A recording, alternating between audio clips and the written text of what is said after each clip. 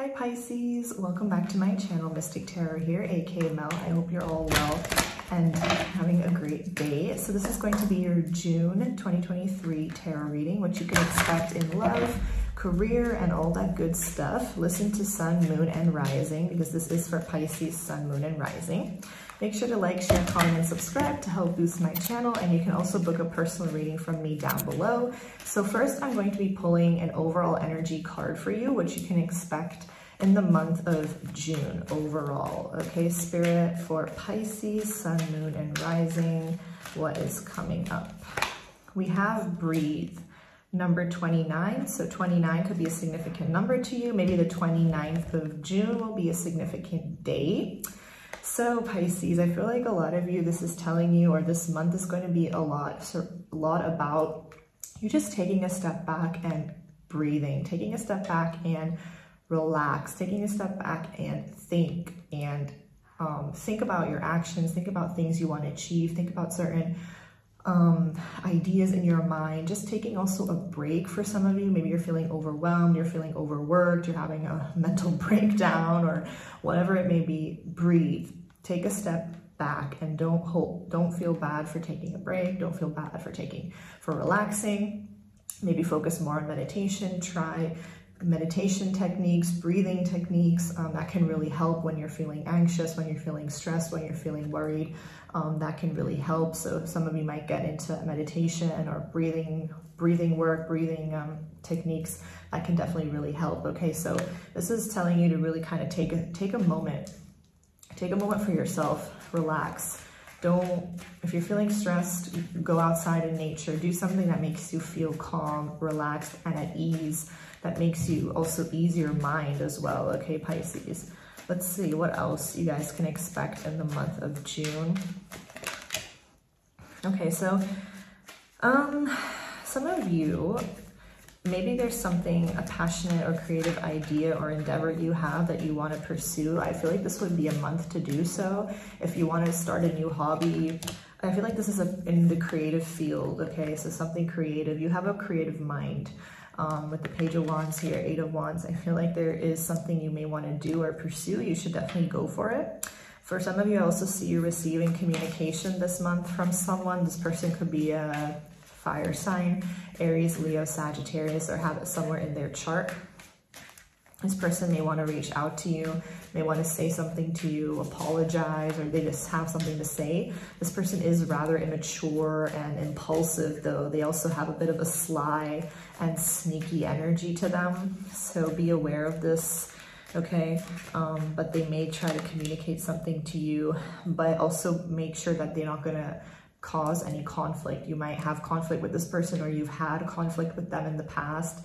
Um, so they they kind of just come into your life to cause you conflict, unnecessary conflict. So whoever this may be, be aware of it. I also feel like there are some forces working against you or people working against you. Maybe that see you as competition or, or are jealous of you. Maybe at your workplace, you have competition. Maybe in your friend group, you feel like there's people that are trying to compete against you. And I feel like these people keep it hidden. They don't really necessarily tell you this. They don't obviously show you this, but I feel like deep down they compete with you. They see you as competition, which is stupid, but you know, you can't control other people, how they feel or how they think. But I feel like there's some people here that are working against you, certain forces and energies. And I feel like you sense this. So it's important that you listen to your intuition here. If you feel like someone isn't good for you, someone is not happy for you, someone doesn't have your best interest, that you listen to that gut feeling and intuition you have. Because when you have a bad feeling about someone, um, it's usually right.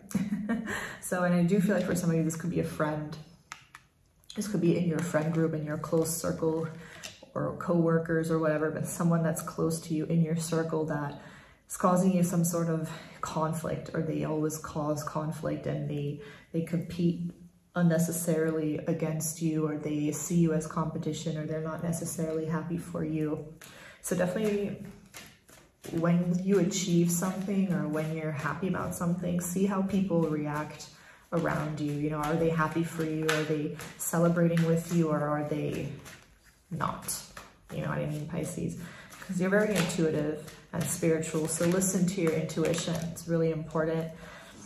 yeah, I do feel like there could be a toxic person in, in your life and it's not someone that you've let go of. I feel like they're in your energy and it's not to scare you or anything. It's just like, you know, we all have people in our lives that are, I mean, we all have, like we've all experienced that type of energy where someone's not necessarily happy for us or doesn't have our best interest. And sometimes you think they're a really good friend, but they're actually not a good friend. So yeah, just be aware, listen to your intuition, don't doubt it, because I feel like there could be someone here that is trying to cause you issues for no mm-hmm. reason. And it's it's a toxic energy that needs to be let go of that you're kind of stuck in here. I'm gonna pull some love cards for you because this was not not much love has been coming out. So let's see if there's anything in love for you in the month of June. So some of you are already dealing with someone or getting to know someone. You're you're letting you're letting go of an ex, you're letting go of a toxic person from the past or you just recently did or whatever. Um, or that could be this immature person that is trying to communicate with you. This could be a past person, an ex or someone trying to reach out to you, okay? But I don't feel like you guys necessarily want this person anymore. I feel like you could have recently met someone new or you will very soon, that this really could be the one. There's a potential for a long-term commitment with this person. It could reach higher levels of commitment like um, engagement, marriage, etc. For those that are already in a relationship, you could be getting engaged this month or married or planning it, okay? Because we do have the engagement card that came out. So this could be um, a sign for those that are committed and in a relationship that you could get engaged. And this is also a confirmation that this could be the one. And this is your person that you're, you're meant to be with. You've already met the romantic partner that you have, you seek. So this really could be that person you're gonna you're gonna be with for a long long time. So yeah and for others you're still in the process of letting someone go. You're releasing all that toxic energy this ex or this past person brought into your life and now you can let something new in and someone new is going to be coming in as well. Okay let's get some more oracle cards for pisces in the month of june spirit. We have tent which is temporary situation. So again whatever these these people that have caused you conflict or are causing you conflict. It's temporary, these issues you've been facing. We have handshake, a meeting with a stranger could be important. So you could be meeting someone this month or in the month of June. Um, and this is going to be a very important meeting. This person could influence you positively in some sort of way, um, in your finances, in your career, and any other development in your life. Or, you know, this person could definitely um, is coming in for a reason. Girl, sorry. Sometimes I even get shook. I was talking about a two, I was talking about a friend, right, in your life that might not have your best intention, and I pulled the cat, a two-faced friend. That's crazy, guys. So I don't know. There could be a friend in your circle that is not very happy for you. Okay, so again, I'm not trying to scare you guys, but it's just it's coming through. So I'm going to have to tell you, right? but obviously you'd be better off without this person. So, and I feel like you might come to this realization this month. Marriage, I told you, some of it, some of you could get married, some of you could get engaged this month. For those of my Pisces that are in happy, committed relationships, that potential is definitely there. You could be planning, talking about it. Bat, take care, enemies are working against you. What are they? Literally, Pisces, there's someone here that is not happy for you. They're not happy for your success. Who is this person? I don't know, but there's someone in your life. So try not to, it also says control your anger or you will be sorry. So try not to involve, your, involve yourself in drama, like, um, because drama, living drama free is better. So if this person wants to create unnecessary drama in your life, we don't need that. We don't have time for that. So be the better person, let it go, say what you have to say, but I feel like this person's gonna cause a lot of like trick, it's gonna trigger you, like obviously. Um, but yeah, also I pulled the torch, spiritual development, enlightenment, awareness, and understanding. So yeah, I feel like you're developing a lot spiritually, emotionally, mentally. You're having that epiphany moment. You're having that enlightenment. You're realizing what no longer serves me, who is good for me, who isn't good for me, and you're understanding, you're coming to that realization, that conclusion, and you're letting go. You're letting go of the things and the people and the situations that are not bringing in your ultimate happiness and your ultimate fulfillment because we don't have time for that.